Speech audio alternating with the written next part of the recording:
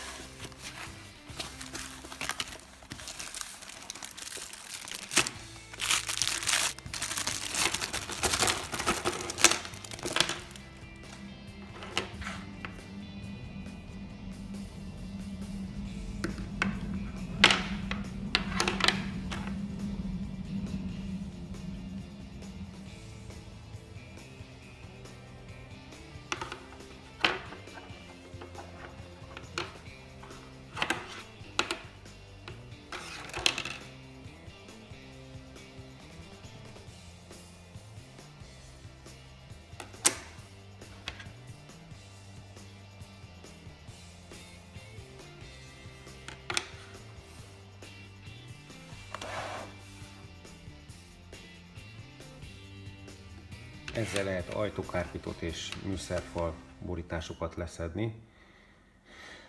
Köszönöm a figyelmet, amennyiben tetszett a videóm.